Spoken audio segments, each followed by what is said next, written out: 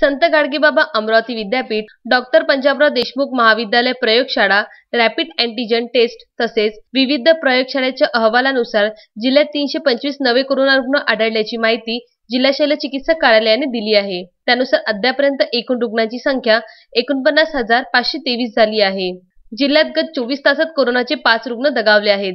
त्यामध्ये चांदूर रेल्वे येथील बेचाळीस वर्षीय पुरुष यांचं सनशाईन रुग्णालय वरुड येथील बावन्न वर्षीय महिला यांचं जिल्हा कोविड रुग्णालय वरुड येथील एक्क्याऐंशी वर्षीय महिला यांचं जिल्हा कोविड रुग्णालय आर्वी येथील अठ्याहत्तर वर्षीय पुरुष यांचं जिल्हा कोविड रुग्णालय भारवाडी तिवसा येथील सत्तेचाळीस वर्षीय पुरुष यांचं जिल्हा कोविड रुग्णालयात उपचारादरम्यान मृत्यू झाला.